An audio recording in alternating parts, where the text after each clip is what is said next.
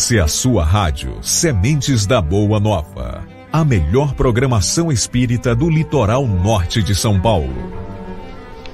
Boa noite aos nossos queridos ouvintes da Rádio Sementes da Boa Nova. Que a paz de Jesus esteja convosco. Estamos transmitindo diretamente do Centro Espírita Joana de Ângeles, Ubatuba, São Paulo uma casa mantida pela Associação Espírita Sementes da Boa Nova. E a partir de agora iniciaremos as transmissões ao vivo de nossas palestras, que ocorrem todas as terças e sextas-feiras às 20 horas. Desejamos a todos uma ótima palestra. Boa noite, queridos irmãos, que a paz do Divino Mestre Jesus esteja conosco hoje e sempre. É sempre uma grande alegria de terças e sextas-feiras, quando então a gente convida, né, irmãos, assim como o meu querido Carlos Abranches, que está aqui para abrilhantar a nossa noite. Boa noite, Carlos, tudo bem? Boa noite, é um prazer estar nesse grupo tão querido, que já tive a oportunidade de conhecer de outras vezes. Estamos aqui de volta. Boa noite. É a terceira vez, né, que o, o Abranches veio para o Batuba e agora a quarta pela internet. Isso aí. E o nosso querido Walter, colaborador da noite. Boa noite, Walter, tudo bem? Boa noite, tudo bem? Tudo ótimo, Mário, podendo fazer mais um programa aí. Boa noite, Carlos, obrigado pela visita, né? E boa noite aos nossos ouvintes. Maravilha. Como os nossos irmãos já conhecem, né? Nós temos aí uma extensa programação semanal e eu vou pedir então para o Walter falar a respeito dessa programação para aqueles que estão chegando aí pela primeira vez. Então, Walter, por favor, com você. Boa noite a todos. Que a paz do Mestre Jesus esteja conosco hoje e sempre. Somos do Centro Espírita Joana de Ângeles, Ubatuba, litoral norte de São Paulo. Temos uma programação semanal de segunda a sábado às 8 horas. Segunda-feira, estudo do livro dos médiuns, Terça-feira, às 17 horas, programa Evangelho no Ar e às 20 horas, palestra. Quarta-feira, estudo do Evangelho segundo o Espiritismo e Livro dos Espíritos. Na quinta-feira, estudo do Evangelho segundo o Espiritismo e o Céu e o Inferno. Sexta-feira, palestra. Sábado, programa Fonte Cristalina. Sempre transmitidas pelos nossos canais www.facebook.com barra Sementes da Boa Nova, www.youtube.com barra C barra Sementes da Boa Nova e pela rádio web www.sementesdaboanova.org barra rádio web. As transmissões ficam gravadas em nossas páginas do Facebook e YouTube e podem ser acessadas a qualquer momento. O atendimento fraterno estamos fazendo virtualmente através do nosso WhatsApp ou pelo Messenger do Facebook. Temos dois livros psicografados na casa: o Galienos Augustus e o Abadia de Aragosa, ditado pelo Espírito Irmão Metelo e psicografado pelo médium Mário Mazei. Estão à venda na nossa livraria e pelo nosso site www.sementesdaboanova.org/loja. Clube de Leitura. Que tal começar o ano com o propósito de ler mais? Iniciaremos no dia 9 de fevereiro com o livro Os Mensageiros, ditado pelo espírito do André Luiz, psicografado pelo Chico Xavier. Nosso encontro será virtual. Para maiores informações, entre em contato conosco. Nosso site está de cara nova. Acessem e deixem seu comentário no final da página www.sementesdaboanova.com www.ecc.org.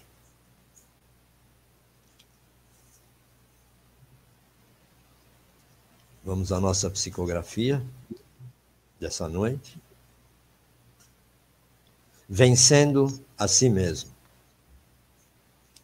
A palma, como símbolo do triunfo divino, também representa a medida que cada um de nós deva percorrer de modo a se sintonizar com o bem celeste. A sintonia é sempre questão de conexão. Sintonizar-se com o bem Não se trata apenas de uma ligação temporária, a fim de realizar certa tarefa, pois esta ocorrerá sempre de modo específico e passageiro.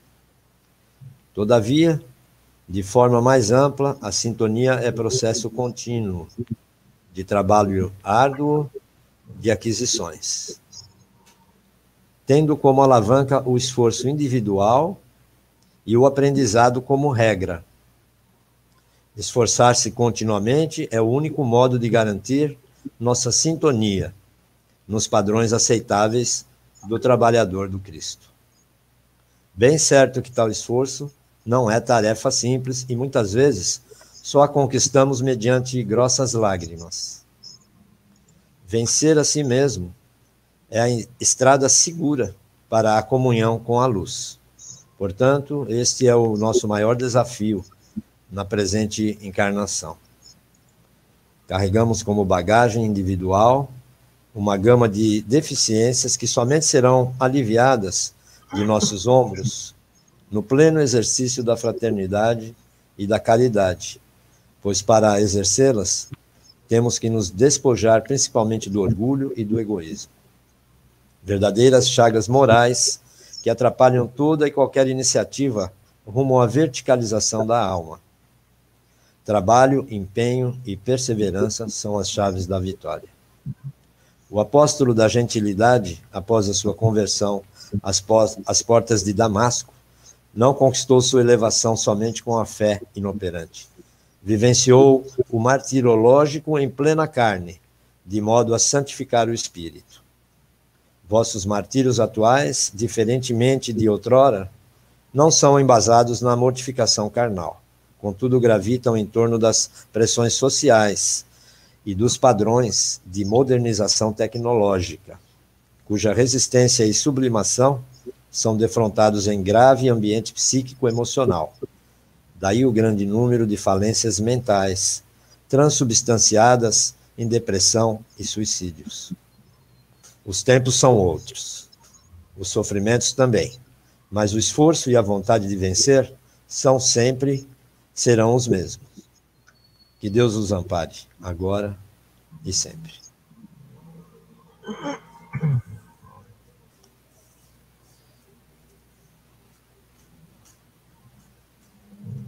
Elevemos nossos pensamentos a Deus nosso Pai, a Jesus nosso Mestre e Guia, pedindo que os benfeitores espirituais desse trabalho nos envolvam com todo amor para que possamos assimilar os ensinamentos desta noite e que possamos refletir e colocar esses ensinamentos em nossa vida diária.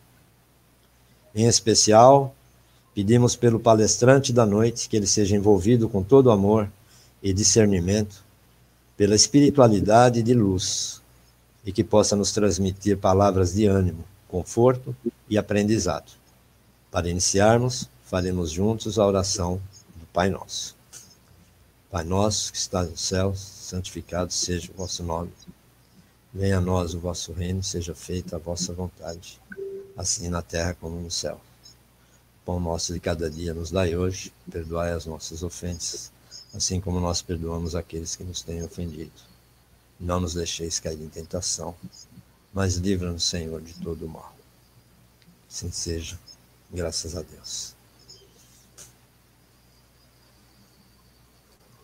Nosso convidado desta noite é Carlos Abranches, mineiro de Juiz de Fora, Minas Gerais, né? e tem formação em comunicação social. Formou-se também em filosofia pela Universidade Federal de Juiz de Fora. É psicanalista clínico, formado pela Associação Psicanalítica do Vale do Paraíba. Na área da literatura, Abranches é autor de sete livros, dois de poesia, quatro de reflexões históricas, com base em relações humanas e filosofia espiritualista, dentro do enfoque espírita. Trabalha desde a juventude com evangelização da criança e do jovem é colaborador assíduo da USE, Regional de São José dos Campos, e frequenta o Centro Espírita Jesus de Nazaré. Seja bem-vindo à nossa casa. A palavra é sua, Carlos. Obrigado, Walter. É, Eu gostaria só de fazer uma pergunta antes de começar. Obrigado, boa noite a todos que estão nos acompanhando aqui. É, não foi citado aí o autor dessa mensagem que você disse que seria psicografada. Que mensagem, quem é o autor dessa mensagem? É o, é o irmão Metelo, né? É o que dita as obras da nossa então, casa. Tá. Que bom. Tá bom. Obrigado aí pela, pela referência. Eu gosto sempre de buscar referência, porque eu tenho visto por aí é, as redes sociais divulgando cada vez mais pequenas frases dos benfeitores espirituais é, que ao longo dos mais de 75 anos de, de, de missão mediúnica de Chico Xavier escreveram por ele. Mas as frases dos, das pessoas que compartilham, vem a frase, entre aspas, e escrito Chico Xavier. Aí eu, eu tenho mandado invariavelmente para todos esses grupos, perguntando, comentando ali embaixo. Obrigado pela frase iluminada, tudo, mas quem é o autor espiritual? Poderia indicar a fonte para que a gente pesquise ou desça a mais detalhes? As pessoas é, não percebem que frases como essa e a mensagem que acabei de ler, que acabei de ouvir agora aqui, é de uma consistência muitíssimo interessante viu, Mário? É muito interessante, gostei muito da, da, da concepção que esse benfeitor trouxe de uma precisão para os dias atuais, e a gente acha muito legal divulgar o nome, porque isso ressalta essa relação entre os mundos material e espiritual. Muito importante a gente citar isso, porque outro dia uma pessoa é, compartilhou uma, uma, uma mensagem, como se tivesse sido de André Luiz, e nitidamente André Luiz não escreveu aquela mensagem, a, a linguagem não era dele, e eu mandei um recado. É, qual é a fonte dessa mensagem? E a pessoa, depois de uma certa relutância, disse assim: Olha, é, peguei da, do Google, peguei da internet. Eu falei: Ah, bom, então, pois é, porque André Luiz não, não tem esse linguajar costumeiramente o Chico Xavier. Algumas pessoas criticaram: Não, mas o que importa é a mensagem positiva. Eu falei: Não, é, o que importa, sim, é mensagem positiva, pode ajudar muita gente, mas nós que temos uma responsabilidade com a, a pureza doutrinária, precisamos compreender que Chico Xavier teve mais de uma encarnação para se preparar para ser o médium Chico Xavier. Logo no começo da jornada, a gente lembra as histórias que Chico conta de Emmanuel preparando-o para a tarefa mediúnica. Foram alguns anos de treinamento ele juntou tudo numa no, no quarto. O Chico fala que quem o ajudou muito a, a, a, a treinar foi Alta de Souza, a grande escritora, poetisa nordestina, é, que o ajudou a treinar a sua psicografia. E quando aquelas coisas lindas estavam ali, ele perguntou para o Emmanuel se aquilo seria publicado, e Emmanuel falou: não, vai juntar tudo isso, põe nessa mala aqui queima. E o Chico, mas como? São coisas lindas, é, mas só serviu como treinamento para o alinhamento do teu psiquismo com essa comunidade de espíritos que tem a tarefa de te é, acompanhar nessa, nesse trabalho mediúnico. Ora, minha gente, se Chico Xavier passou esse tempo todo se disciplinando para entregar mensagens de altíssimo teor espiritual, com equilíbrio transcendental, como é que a gente vai pegar uma rede social, colocar aqueles posts bonitinhos, com imagens bonitas, tudo, uma, apenas uma frase escrita Chico Xavier. Não foi o Chico que escreveu. Não é verdade o que está ali. O autor não é aquele. Chico Xavier emprestou a mediunidade dele para que um benfeitor viesse e escrevesse.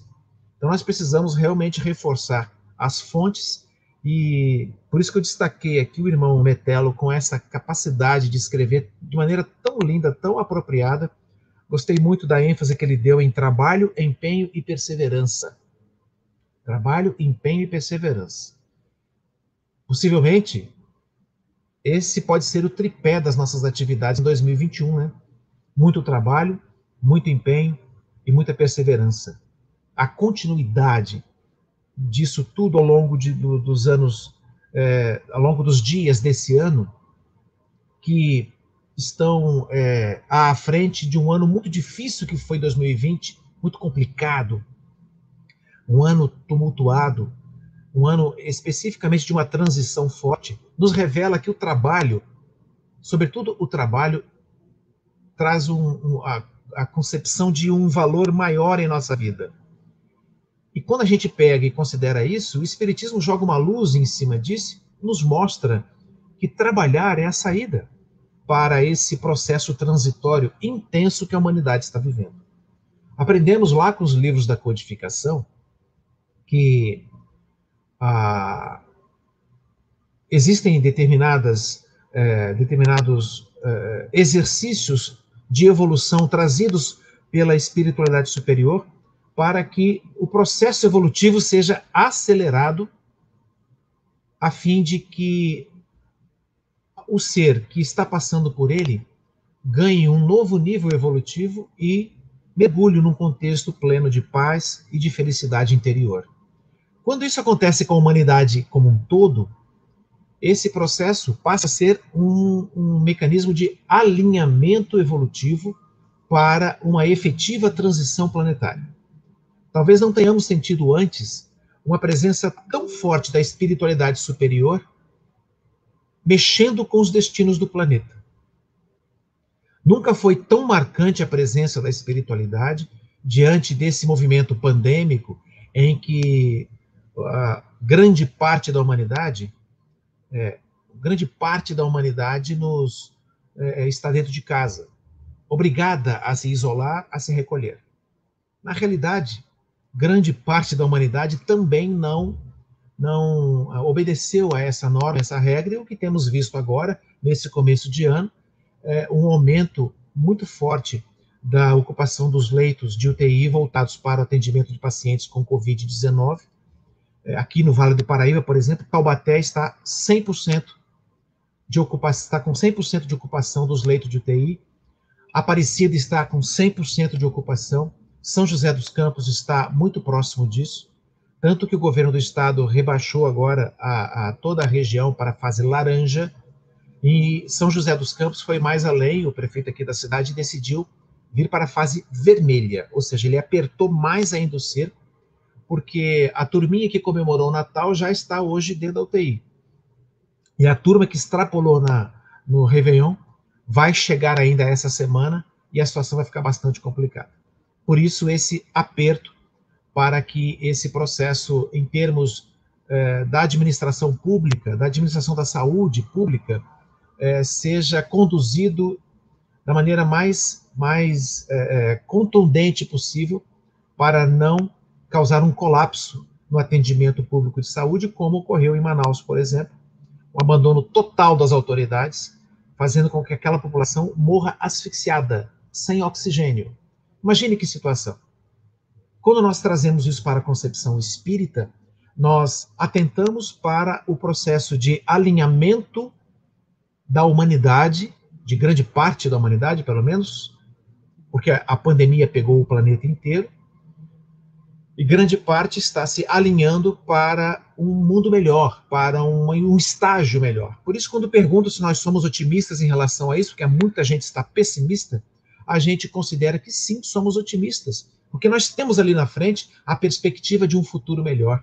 Sabemos que a, humanidade, o planeta está passando por essa fase transitória e estamos agora entrando eh, a passos firmes, fortes e vivendo as dores do processo para a fase regenerada da humanidade.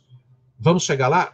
Vamos chegar, mas à custa de muitas perdas, à custa de muitos sofrimentos, que significam também esse processo que está aí no título deste nosso encontro. Se sabemos que evoluir é a meta, sim, já aprendemos com o benfeitor Emmanuel, pela mediunidade do Chico Xavier, no livro A Caminho da Luz, que todos estamos a caminho dessa luz, caminhando para frente e para o alto. E lá no ponto final, no alto da montanha, temos a nossa, nossa meta da evolução plena aproveitando todos os recursos que o planeta Terra pode nos oferecer enquanto espíritos terráqueos, espíritos deste planeta. Assim que vencermos todas as possibilidades evolutivas, como bem sabemos pela literatura espírita, é, podemos galgar a busca de outros planetas mais avançados e consentâneos com a nossa faixa evolutiva. Por enquanto, estamos aqui porque estamos enfronhados nessa mergulhados nesse contexto da transição planetária, contribuindo com a humanidade para que ela faça essa travessia é, da melhor maneira possível, ainda que com muitas perdas, com muito sofrimento, com muitas lágrimas, e estamos todos atravessando. Nesse momento da transição planetária, nós estamos no alto da ponte entre o lado A para o lado B. Nosso destino é o lado B.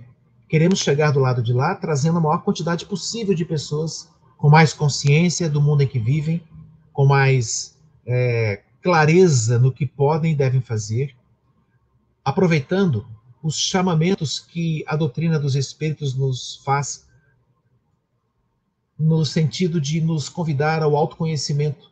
E nesse autoconhecimento, mergulharmos fundo na busca de todos os talentos, de todas as habilidades, de todas as competências, as capacidades que trouxemos ou que já temos em nós para voltar, depois dessa viagem para o mundo interior, através do autoconhecimento, voltarmos oferecendo tudo de bom que temos, no verdadeiro sentido evangélico da expressão ide e pregai.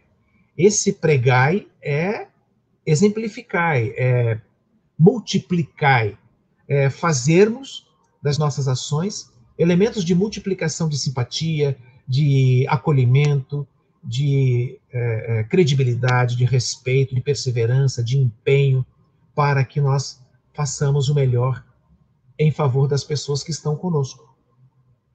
Então, nós somos também baluartes dessa caminhada. Então, esse esforço começa dentro de nós. Aí entra o processo do amadurecimento. Se evoluir é a meta, amadurecer é o processo. É o passo a passo. E não pensem, os senhores e as senhoras, que nós teremos é, facilidades nisso daí. Nós somos herdeiros de nós mesmos.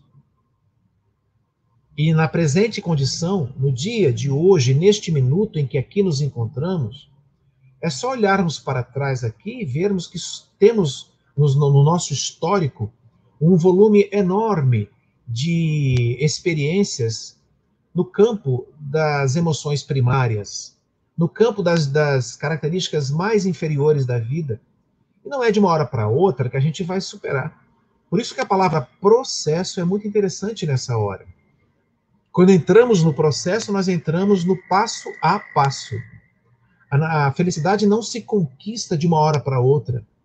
Felicidade é filha de uma perseverança, de uma continuidade, conforme o irmão Metelo falou aí. Ah, o empenho para a continuidade e a perseverança.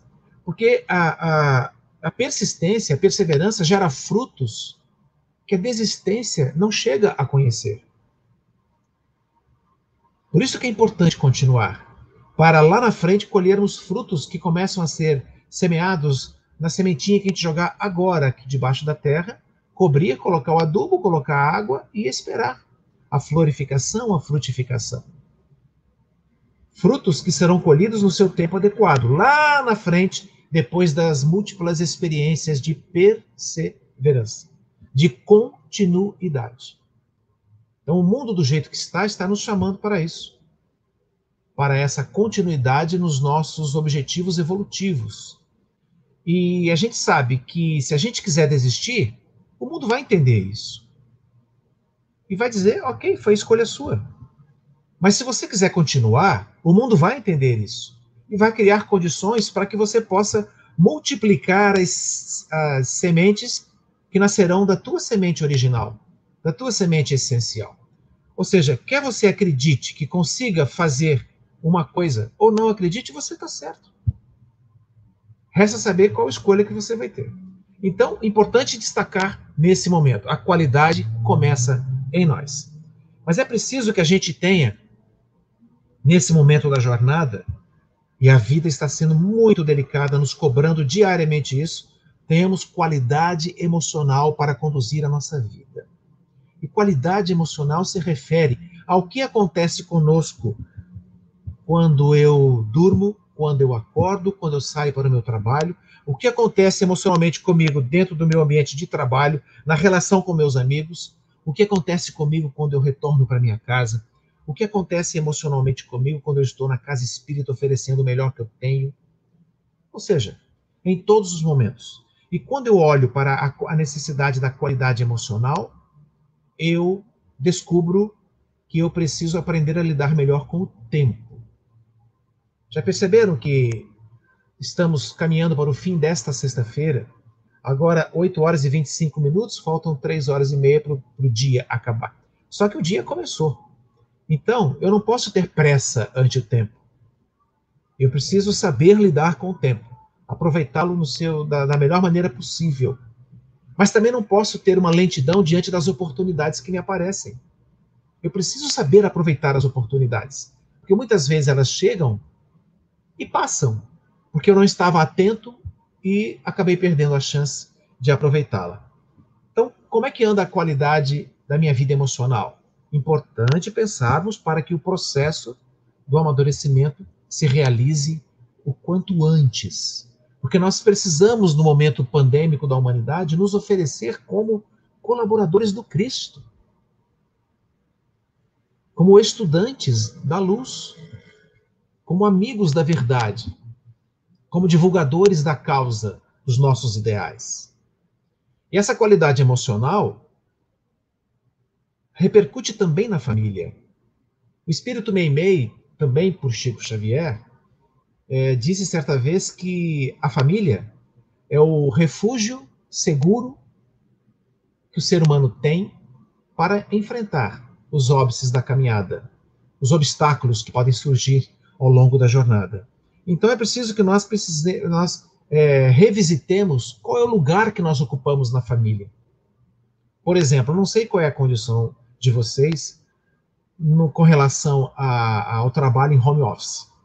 É, no local onde eu estou trabalhando hoje, é uma operadora de saúde, de planos de saúde, é, boa parte dos funcionários está em home office. Outras estão operacionais, estão presenciais, fazendo trabalho presencial, porque é, é necessário é, para movimentar toda a máquina produtiva, operacional. Mas as pessoas que estão em home office, se você estiver, por exemplo, é, é importante a gente pensar é, como eu sou, qual é a minha posição como um pai ou como uma mãe que trabalha, sai de casa e fica oito horas fora, num local de trabalho, prestando serviço, garantindo o seu salário no fim do mês, e depois volta para casa trazendo é, essa carga boa de um trabalho que dignifica o homem. Uma coisa é isso, é eu sair e trabalhar. Outra coisa é eu trazer o trabalho o ambiente corporativo para dentro da minha casa. Onde ali tem filhos esperando o começo da aula online da escola, porque não está indo para a escola, não dá para ir, porque está fechado, por causa da pandemia. Onde os afazeres domésticos, às vezes, eu estou ali tentando trabalhar, a esposa chega e, e, e propõe: ah, nós tem que limpar isso aqui, você não limpou ontem, não sei o quê, papá. Ou então o marido chega e fala: ah, e aí, como é que vai ter aí o almoço? Que hora? Não, eu estou no ambiente de trabalho virtual, dentro de casa. Será que não chegou a hora de ressignificar a minha posição do pai ou da mãe que sai ou que permanece? Tudo isso, a pandemia está fazendo a gente se reorganizar dentro de casa. Está se colocando a gente em condições de repensar qual é o meu verdadeiro lugar. Então eu preciso pensar também, é, nessa jornada toda, qual é, quais são as qualidades que eu devo é, trazer à, à minha mente para que eu possa me tornar uma pessoa melhor dentro de casa e fora de casa, seja na rua, seja no local de trabalho, seja na minha casa de atividades religiosas. E a gente pensa que é muito importante que algumas necessidades que, são prementes na vida evolutiva apareçam nesse momento para a gente poder dar vida e, e colocá-la como colocá-las como elementos preciosos nesse processo de amadurecimento. São elas, por exemplo, o conhecimento. Sim, é preciso ler, é preciso encher de livros a, a, a nossa memória recente. É preciso trazer leitura digna, leitura elevada, para a gente poder iluminar as nossas concepções de vida. É preciso sair das redes sociais, que são superficiais, e dedicar menos tempo a elas e mais tempo a uma leitura mais profunda, que possa nos ajudar a evoluir. É preciso ter coragem para enfrentar esses tempos difíceis, esse momento difícil da humanidade. Muita coragem. Coragem para vencer as dificuldades, coragem para vencer os obstáculos que a gente mesmo cria em forma de resistências. É preciso que a gente desenvolva a capacidade de ter resiliência. Resiliência também chamado de antifragilidade, um termo novo que foi criado, inclusive, no ano passado, por, algum, por um pensador americano, que propõe a, a, a resiliência como uma ferramenta fundamental para o homem de bem vencer essa, esse período turbulento da caminhada. Eu caio, tropeço, mas quando me levanto, o ato de se levantar é o ato da resiliência. Eu me levanto melhor do que quando caí. Ou seja, é preciso que a gente treine a capacidade de aprender as lições pelas quais estamos passando. Aliás, esse é um dos, dos receios que eu sinto de que muita gente não vai, não vai aproveitar os chamados que a, a pandemia está nos trazendo para poder ficar melhor. Imagine o desperdício evolutivo de tempo na dinâmica do homem existencial, do homem imortal, é, do ser imortal, do espírito imortal, tendo uma pandemia para aprender lições profundas dessa, dessa, é, é desse, desse recolhimento interior. E quando a pandemia passar, a pessoa é como se não tivesse aprendido nada. Muito difícil, muito ruim. Então, a fé surge como outra ferramenta poderosa, fé na vida, fé na continuidade da existência, fé na nossa capacidade de produzir conteúdo, produzir conhecimento e oferecer para as pessoas, é, através da leitura de livros como Evangelho segundo o Espiritismo, O Céu e o Inferno, que inclusive nessa casa, estou vendo aí o recado de novo, é, dias de estudo para o aprofundamento delas, é, confiança nos meus parceiros de caminhada, confiança na minha família, confiança nos meus colegas de jornada, para que eu possa ter trocas afetivas que sejam é, efetivas para o meu progresso evolutivo. E a gente sabe que, como evoluir é a meta, lá no, no fim da jornada tem o ponto de chegada, a gente sabe que esse ponto de chegada, na prática, não existe, porque ele é um ponto de passagem. É, ninguém evolui sem de dedicar tempo e esforço para o seu objetivo. Então é preciso que realmente eu evolua e eu faça na minha vida algo mais próximo do perfeito. Porque quando, quando o perfeito não é possível, gente, a gente pega o que é possível e faz ele ficar quase perfeito. Não é uma jogada assim? Então vamos fazer desse jeito. Para aquilo que está imperfeito ficar o mais próximo da perfeição. Para que a gente possa transformar cada minuto do nosso dia em algo muito bem conduzido. Na empresa, o negócio funciona assim. O que, que é uma, uma, uma coisa? O que, que é? Que, qual o significado de eficácia? E qual o significado de eficiência? Como que a gente pode trabalhar essas duas palavras? Elas são sinônimos? Não, não são sinônimos. Então, se eu quero trabalhar com o conceito de eficácia, eficácia para mim é, é, fazer a coisa certa. Eficiência é fazer certo a coisa. Então, para ter eficácia, eu tenho que fazer a coisa certa. Mas a eficiência é, é, é um mecanismo que eu uso para poder fazer bem feito aquilo que é eficaz. E quando eu consigo colocar isso na minha vida, eu consigo aproveitar muito bem a minha encarnação. Já pensou? Chegando aí no fim da jornada da tua existência, não sei qual idade que você tem, mas se você sentir que já está no fim da caminhada, você poder chegar lá e ser considerado um espírito completista. E o que, que é ser um completista? O livro Missionários, não, o livro Obreiros da Vida Eterna, quarto livro da coleção André Luiz, pela mediunidade de Chico Xavier, fala a respeito disso, é, da desencarnação de vários tipos de pessoas. E um deles lá, mais para o fim do livro, uma, uma, uma pessoa que foi completista na encarnação, Dona Aura Celeste, por exemplo. Claro que lá no livro tá, ela é tratada com outro nome, mas a gente sabe que essa, essa alma iluminada, Dona Aura Celeste, foi condutora da sua própria desencarnação. Porque ela foi um espírito completista. Ela completou o projeto reencarnatório dela e fez além do que lhe foi pedido. Olha, eu estou aqui na torcida para que isso aconteça comigo, com você, para a gente poder, quando chegar a hora da desencarnação, a gente ter uma desencarnação absolutamente pacificada. Porque cumprimos a nossa tarefa. Então, a gente sabe que essa, essa jornada começa no nosso desejo, na nossa escolha, começa na nossa vontade de fazer melhor, fazer bem feito e ir além do que nos é pedido. Se você tem o seu projeto reencarnatório, os itens estão todos aí muito bem planejados. Não pense que sua vida é uma vida ao léu. Sua vida foi muito bem escrita, os detalhes foram muito bem produzidos, muito bem. Foram muito bem elaborados, em comum acordo entre você e seus benfeitores, esses que estão avalizando a sua encarnação. Por quê, gente? Porque quando a gente partir de volta, não vai ser apenas uma vitória nossa, se a encarnação for bem aproveitada. Vai ser também um projeto vitorioso do nosso benfeitor querido, que nos deu toda essa assistência. Então é preciso entrar em sintonia.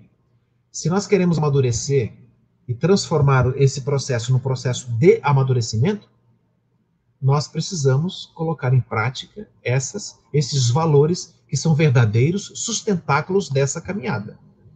Como falei agora há pouco, coragem, conhecimento, fé, capacidade de se renovar, a resiliência, capacidade de vencer as decepções da caminhada e seguir adiante com essa positividade que nos deve, que nos deve habitar, para que a espiritualidade conte com a gente no auxílio a quem está em condição pior. André Luiz também no livro no livro é, Sexo e Destino, no livro Entre a Terra e o Céu e tantos outros da sua, da sua do seu trabalho mediúnico com Chico Xavier, relata aparelhos que existem na, na espiritualidade que são aparelhos radares que captam ondas mentais da, de uma cidade, por exemplo, os moradores de uma cidade.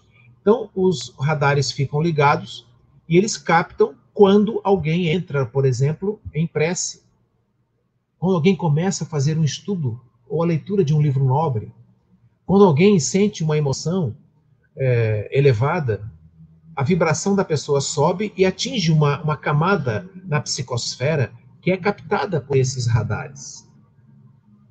E quando alguém está sofrendo, quando alguém está colocando em risco a sua própria vida, quando alguém está colocando em risco a vida de outros, esses benfeitores da família deste ser ou daquele é, buscam nesses radares quem é que está em prece ou quem é que está em condições de servir em condições de prestar ajuda. E eles mandam benfeitores para acionar aquela pessoa que está em, em vigilância, para que ela possa mandar uma mensagem, para que ela possa se aproximar, de repente ir atrás de um auxílio preciso, físico mesmo. E isso é muito lindo a gente perceber como funciona. André Luiz descreve isso de maneira tão clara, tão maravilhosa no livro Sexo e Destino, quando uma jovem estava tentando se matar, eles acionam esse aparelho e descobrem alguém lá que está em condições de ajudar. E ele é acionado, a pessoa vai até, de repente, do nada, numa esquina, encontrar aquela pessoa que está tentando se matar. Viram a importância da gente estar em sintonia? Como é legal a gente estar em prece. O Evangelho diz assim: orai sempre e nunca deixai de orar. Ora, se a gente sabe que é impossível ficar o tempo inteiro orando, aí você pega e me liga e fala, oh, vamos sair ali, agora não posso, porque eu estou orando. Mas como assim que ora? Você não vai? Não, é porque o Evangelho disse para orar sempre. Esse tipo de prece, que inclusive foi feita aqui no começo da nossa, do nosso encontro, esse tipo de prece, ele é apenas um tipo de prece. Existem outros, existem outros como, por exemplo, a própria atitude diante da vida, a positividade diante dos desafios, você estar em condições de servir. Senhor, fazei de mim um instrumento da vossa paz. Essa é a convocação franciscana que se atribui a Francisco é, para o ser disposto ao serviço. Onde você estiver agora, o que significa colocar-se a serviço do bem? subir o nível. Nós subimos o nível. Agora que começamos esse trabalho, nós estamos num nível psíquico acima da média do desespero, da depressão, da tristeza, da ansiedade exagerada. A clínica, a minha clínica, é, tá assim de gente, ó, correndo atrás do, é, é, correndo para fugir do pânico, da ansiedade exagerada por causa da pandemia. A gente precisa ter recursos para estar para estar melhor do que essas pessoas. No livro No Mundo Maior, o benfeitor André Luiz, também pela mediunidade de Chico Xavier, é, número, é o livro número 5 da série. O, o benfeitor Calderaro, é o instrutor do livro, faz uma, uma consideração muitíssimo interessante quando fala é, para André Luiz: se você quer ajudar agora, no presente, viva psiquicamente no futuro do seu tempo. Gente, isso é muito importante. Olha o que o Calderaro falou. Quer ajudar alguém agora? Esteja melhor do que ele. Quer ajudar alguém que está sofrendo no presente? Esteja em condições emocionais de fazer o acolhimento correto. Seja um continente onde esse ser que está com seu barco revolto possa vir e ancorar. É muito legal um porto seguro. Mas um porto seguro é algo transitório na vida da gente. Eu gosto muito quando vou ao litoral, vejo lá o Porto de São Sebastião, bonito, os navios grandes, tudo. Mas eu sei que um porto seguro é transitório, porque o destino do navio é viajar, é navegar, é ir para alto mar, gente. O destino do ser humano é abraçar a sua missão e executá-la. Mas se o cansaço chega, que sejamos nós aqueles pontos de apoio, aqueles oásis em meio à travessia do deserto em que a pessoa pode se descedentar um pouco da água viva do Evangelho, que mata a sede da alma. Ele pode encontrar no atendimento fraterno, ele pode encontrar numa palestra é, conduzida com afeto, com amor. Ele pode encontrar numa conversa, num ambiente de trabalho, em cinco minutos de conversa. Por quê? Porque estamos em sintonia, estamos lá para cima. Essa é a hora em que a gente aprende a navegar. O pessoal do litoral, Ubatuba, Caraguá, São Sebastião, Ilha Bela, é, para ficarmos só no nosso litoral norte paulista, convive muito perto é, com essa realidade, com essa realidade da, da dos navios, do, do porto. Mas a gente sabe que o que afunda um navio não é a água que está em volta dele. Tem muita água aí, você sabe, é só olhar o horizonte vão perceber o oceano aí à frente. O que afunda um navio não é a água que está ao redor dele. O que afunda um navio é a água que está dentro dele. Encheu demais, o navio afunda, minha gente. Na vida acontece a mesma coisa. Eu não posso deixar que as tempestades, os tumultos é, da existência me encharquem demais para afundar o meu navio existencial. Não posso deixar.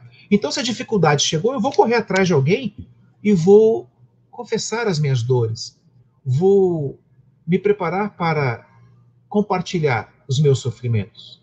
Levai os fardos uns dos outros, diz o Evangelho. Temos que estar prontos para isso. E quando a gente se oferece para isso, nós estamos sendo, atendendo a essa rogativa: Senhor, fazei de mim um instrumento da vossa paz. Será que estamos em condições de fazer isso? Um dia eu fui conversar com o Mário Sérgio Cortella, é, e conversando com ele, ele falou, antes de uma palestra dele, ele falou assim: olha, é, uma das lições maiores que eu aprendi com, que eu dei para os meus filhos foi a seguinte: quando eles eram pequenos, eles iam falar comigo, tudo, e eu, como professor, pá, pá, eu falei assim: olha, é, daqui a pouco vocês vão fazer 10 anos, eu vou explicar para vocês uma coisa muito séria. Aí os meninos insistiram tanto, ele falou assim: olha, o que eu quero explicar para vocês é que vaca não dá leite. Aí os meninos estavam chegando lá perto da idade, falaram, foram estudar, falaram, não, vaca, vaca dá leite. Que outros animais dão leite? Aí, vaca dá leite. Aí chegou no dia do aniversário, falou, pai, agora, vocês, agora você vai ensinar a nós aqui, por que, que vaca não dá leite? De onde você tirou isso? Falei assim: não, filho, vaca não dá leite. Tem que tirar o leite da vaca. A vaca sozinha não se aperta lá para o leitinho sair. Você tem que chegar e tirar. É a mesma coisa com a gente. tem que ter trabalho duro para poder extrair o leite da vida.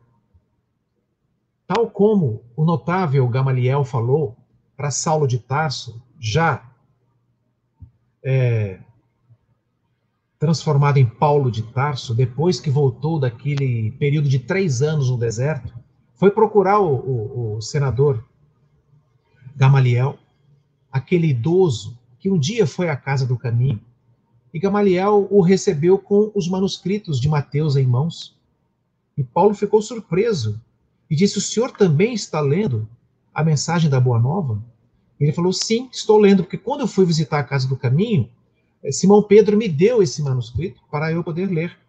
E eu li e descobri que a terra prometida, aquela para onde é, os dois emissários de Moisés foram para investigar o que seria possível é, recolher, Josué e Caleb voltaram da terra prometida, está lá no Velho Testamento, é, nos escritos de Moisés, dizendo que encontraram na terra prometida que jorravam leite e mel. E Gamaliel falou para Paulo de Tarso: leite da sabedoria e o mel da doçura da vida, da caridade. Tudo que esses homens do caminho estão fazendo aqui. Então, o leite é essa, essa metáfora da fertilidade, do alimento. Qual é o alimento psíquico que nós temos buscado para subir de faixa? Para entrarmos na onda do radar da espiritualidade e nos colocarmos a serviço do bem. Qual é o leite que nós temos tomado? É o leite da boa leitura? Da convivência com pessoas nobres? Qual é o mel do qual temos nos nutrido? Mel dessa doçura que traz essa pureza que é comum às crianças segundo Jesus, se não nos fizermos como elas, não entraremos no reino da sabedoria, no reino do aprendizado, no reino da tarefa permanente. Olha quanta coisa a gente pode fazer.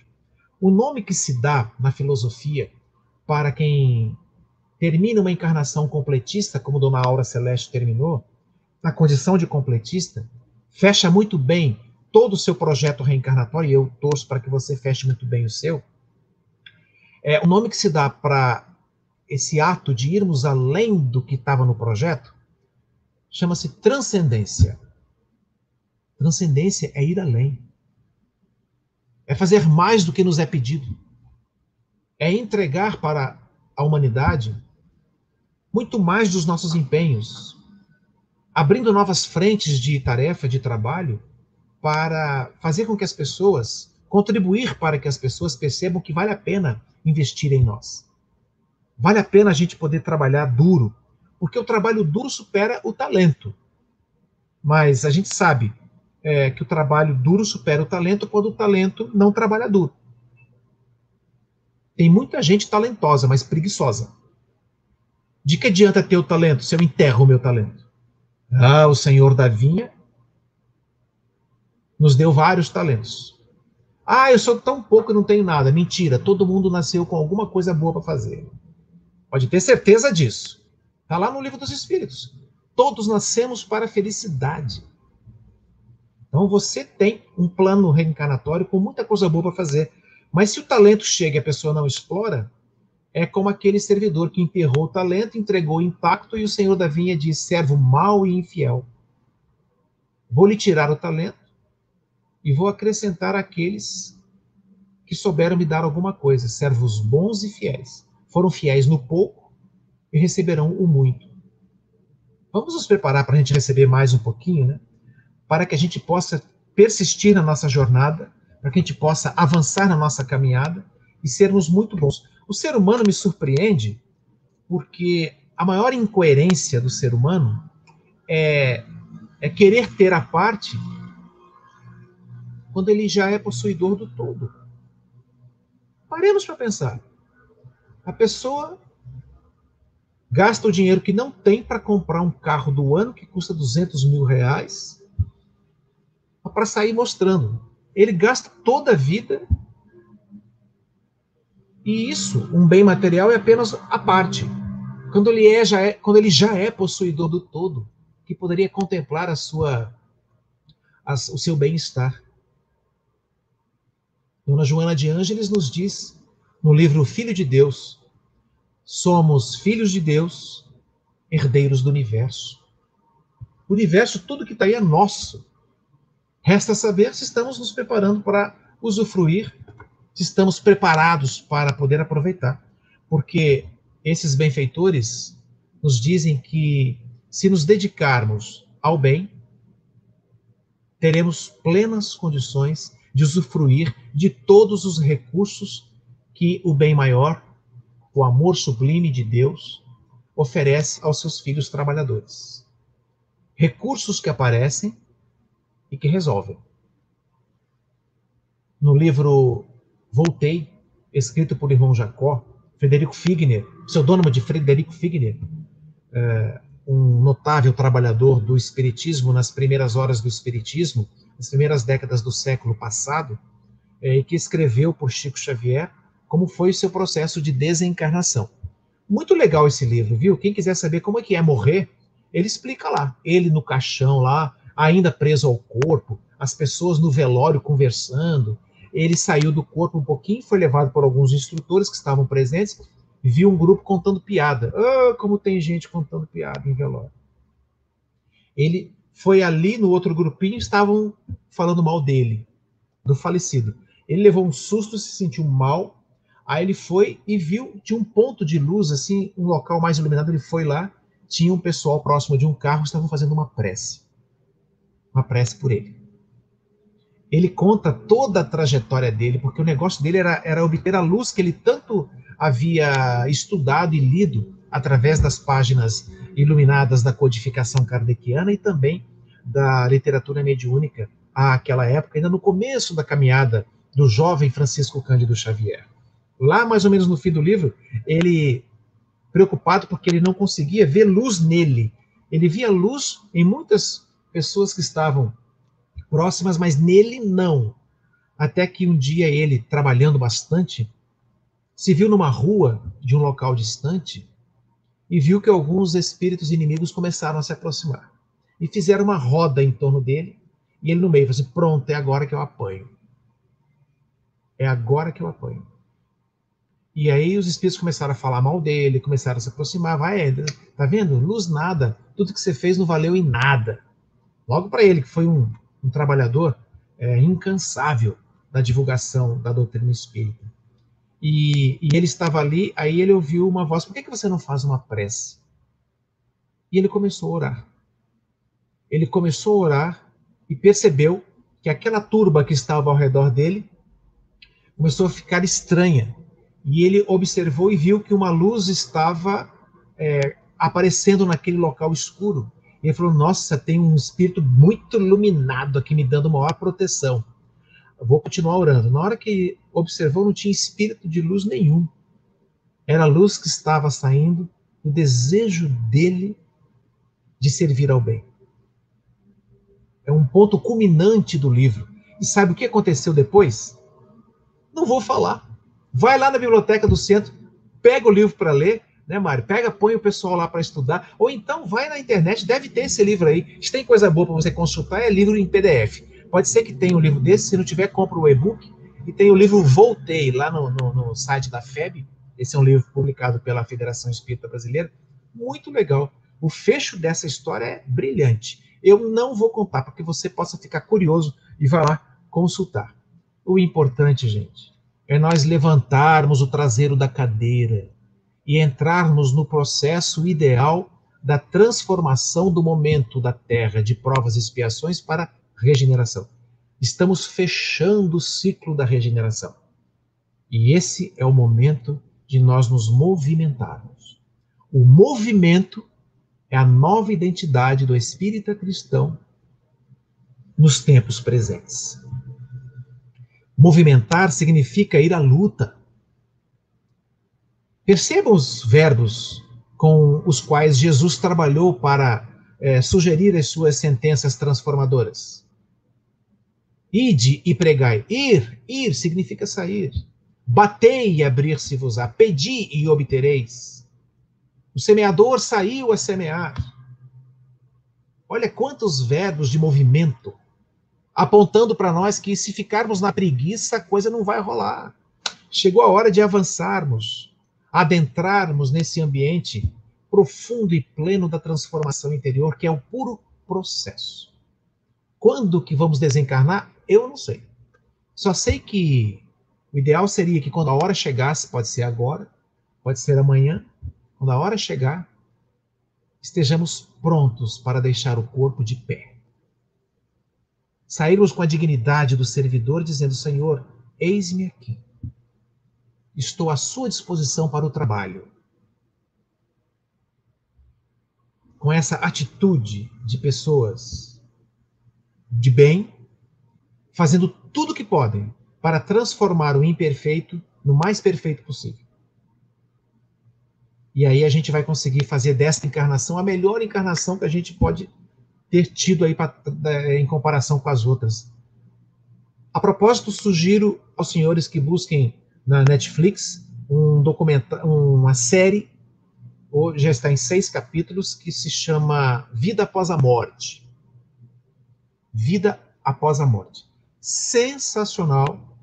Fala tudo isso que eu estou falando, não é uma série espírita, é um relato das pesquisas mais interessantes e mais avançadas que estão sendo feitas atualmente no mundo inteiro, nas mais avançadas universidades do planeta, a respeito da reencarnação, a respeito dos estados de quase morte, a respeito da mediunidade. Conta histórias interessantíssimas lá. Sugiro que os senhores assistam. Eu comecei a assistir há alguns dias e vi todos os capítulos, não conseguia parar de ver de tão interessante que é. Por quê? Porque amadurecer, gente, é processo. E processo significa caminhar, caminhar, caminhar. Olha o movimento, é a sua nova identidade do Evangelho. Você caminha, caminha, e quando você cansar, você senta, repõe as energias e continua a jornada. Porque quando chegar a nossa hora, nos será perguntado o que deixamos de bom na humanidade. E aí, repetindo André Luiz, também por Chico Xavier, talvez nos nossos esforços evolutivos, nós não consigamos alcançar as estrelas. Mas, certamente, façamos dos nossos empenhos a possibilidade de termos plantado algumas flores ao longo da nossa jornada.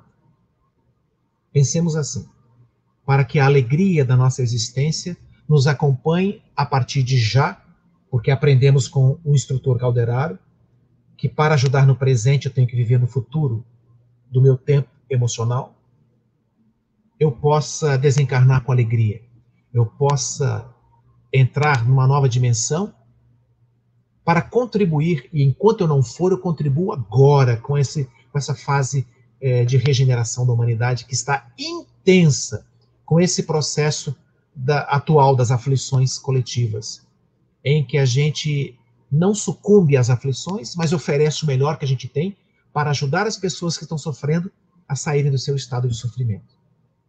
Porque quando chegar a nossa hora, vai chegar. E aí nós poderemos, quem sabe, adentrar o mundo espiritual e dizer a Ele que estará conosco: Jesus, o governador espiritual da terra, Mestre querido, nós te agradecemos nesse instante de alegria, a paz que nos anuncia a vida superior. Por nossa esperança em festa, pelo pão, pelo agasalho, pelo suor do trabalho. Louvado seja, Senhor. Envoltos na luz da prece, louvamos-te os dons supremos nas flores que te trazemos, cantando de gratidão. Felizes e reverentes, rogamos-te, querido amigo, a bênção de estarmos contigo, agora, neste momento, e bem fundo cá, no nosso coração. Muita paz, muito obrigado. Querido irmão Abranches, que maravilhosas exortações, que belas reflexões você despertou, com certeza grandes emoções em todos nós. Que assim o Centro Espírita Joana de Anjos agradece demais a sua participação e tenho certeza que os nossos ouvintes levarão essa noite profundas reflexões aí para muito tempo. Obrigado mesmo. Que assim seja. Obrigado, querido, pela oportunidade. Então nós vamos pedir para o meu querido Walter fazer aí a prece de encerramento. Walter, por favor.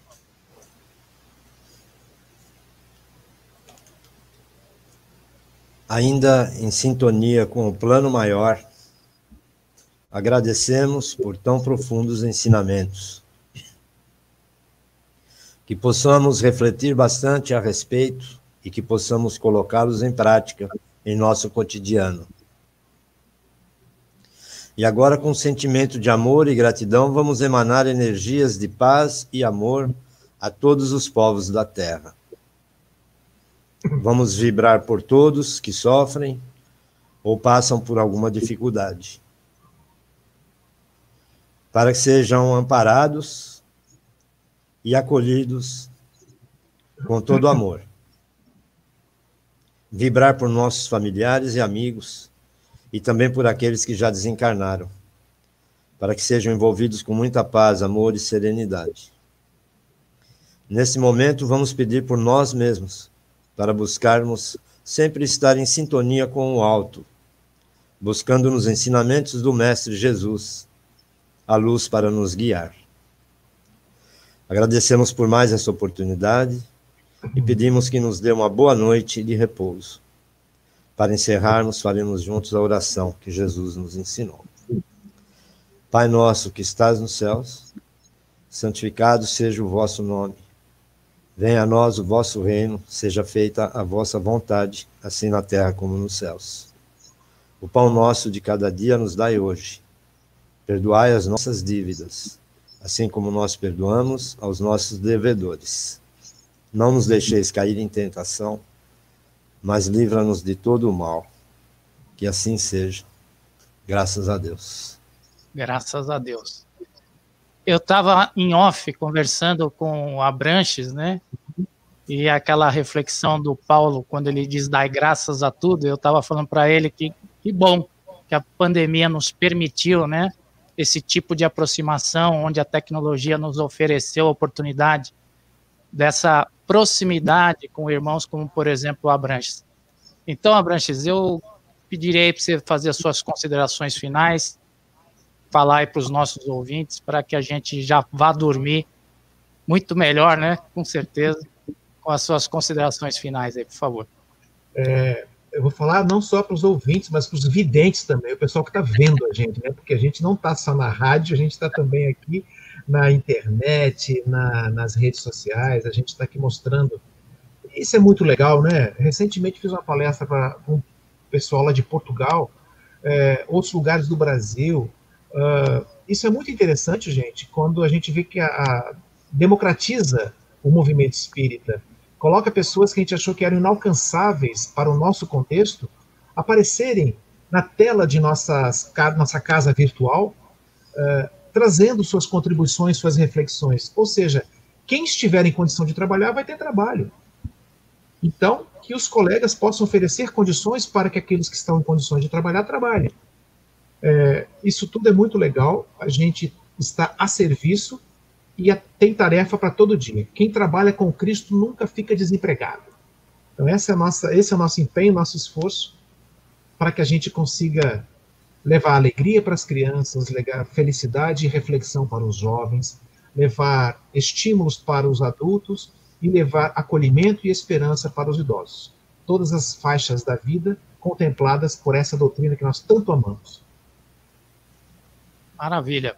Walter, as suas considerações finais? É agradecer, né, Mário, por mais essa oportunidade, é, pelo privilégio, né, de poder colaborar um pouquinho, né, e agradecer a todos os nossos ouvintes, agradecer ao Carlos pela excelente palestra, né, agradecer a você, Mário, pela oportunidade. Boa noite a todos, obrigado. É isso aí, queridos irmãos. Então, Fiquem na paz de Jesus. Não se esqueçam que amanhã no Fonte Cristalina nós vamos ter jornada dupla. São dois músicos lá de Varginha que vão participar conosco. E não percam aí a oportunidade de escutar uma boa música e um pouquinho mais da doutrina. E Deus abençoe a todos vocês. Mais uma vez, Carlos, muito obrigado pela tua participação. E Walter também. Fiquem na paz de Jesus. Até amanhã, se Deus quiser. Tchau. Obrigado.